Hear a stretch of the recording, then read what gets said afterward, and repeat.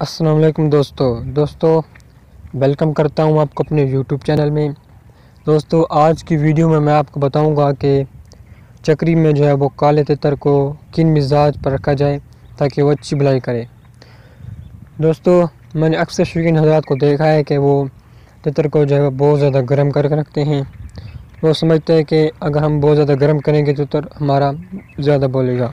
लेकिन उन्हें ये नहीं पता कि तितर को बहुत ज़्यादा गर्म करने से जो वो तितर बहुत ज़्यादा हीट हो जाता है और तरक्की करने लग जाता है। दोस्तों, मेरा यही मशवरा है कि आप तितर को जो है वो जब बहुत ज़्यादा गर्मी हो तो आपने जो है वो नॉर्मल रखना है। आपने टम्परेचर को लाजमी देखना है। आप, आपके पास स्मार्टफ़ोन है आज टेक्नोलॉजी का जो है वो दौर है, आप जो है वो टेक्नोलॉजी का इस्तेमाल करें और मौसम की सूरत जो है वो अपने मोबाइल से ख़ुद चेक करें।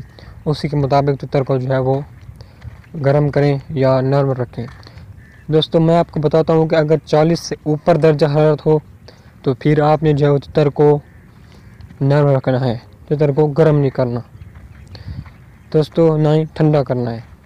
दोस्तों 40 ऊपर दर्जा से बहुत ज़्यादा गर्मी होती है तितर को आपने नर्म रखना है, ठंडा नहीं करना। दूसरा ये कि अगर 35 से ऊपर दर्जा हरारत हो और 40 से कम हो तो फिर आपने तितर को नर्म रखना है। ठीक है दोस्तों, गर्म नहीं करना। गर्म करेंगे तो तितर तलखी कर जाएगा। अगर दर्जा हरारत तीस से ऊपर और पैंतीस से नीचे हो तो ये थोड़ी सी ठंड बन जाती है तो फिर आप तितर को गर्म कर सकते हैं। लेकिन बहुत ज़्यादा गर्म नहीं करना। बहुत ज़्यादा गर्म करेंगे तो तितर जो है वो तलखी कर जाएगा। दोस्तों अगर आप इन मिजाज के मुताबिक तितर को चक्री में रखेंगे तो इन तितर अच्छी बुलाई करेगा। दोस्तों, दुआ में याद रखना, खुदा हाफिज़।